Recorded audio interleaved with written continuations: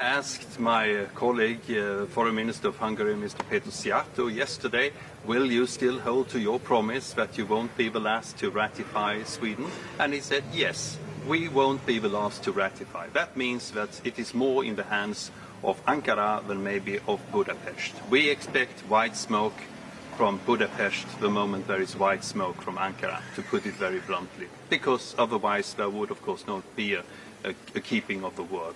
It's interesting that he told you that because when I interviewed him yesterday, he told me that Hungary's approval had nothing to do with Turkey's approval and that both were not linked. Well, uh, his Prime Minister, Mr. Viktor Orban, has repeatedly said that Hungary won't be the last to ratify Sweden's membership. And that means that if Turkey ratifies, so Hungary will ratify. I can't see any logic otherwise in that comment.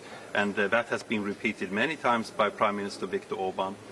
Hi, I'm Joumanna Bercetche and thank you for watching. You can check out more of our videos by clicking on the boxes on the screen. And don't forget to subscribe to our channel for more from CNBC International. Thank you for watching.